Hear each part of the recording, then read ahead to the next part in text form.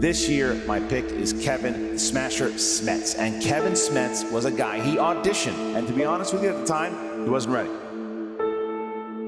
He sent me an email and said that he, by the end of this year, he will be Rookie of the Year and a Geekdom Player of the Year. This is how confident he is already. He's one of those guys that is working hard, and I want to see what he can do.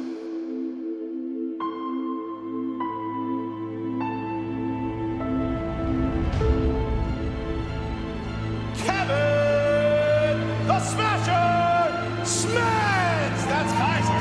Okay, so that's Kaiser. Smets. And Look at here comes Smets. Smets. And Look at Kaiser. Angry look on his face.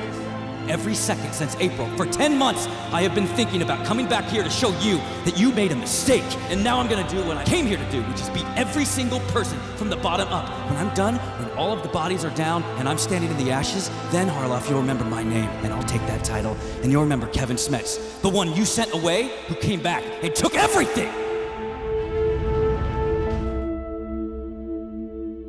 Um, I got diagnosed with colon cancer.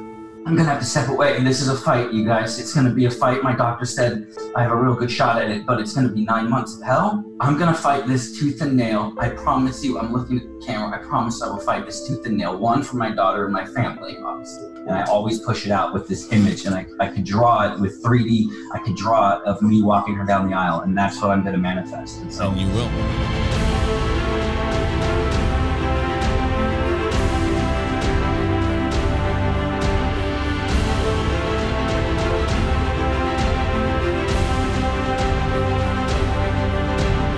Your name is synonymous with fighter. Your name is synonymous with champion. Your name is synonymous with unbreakable resolve.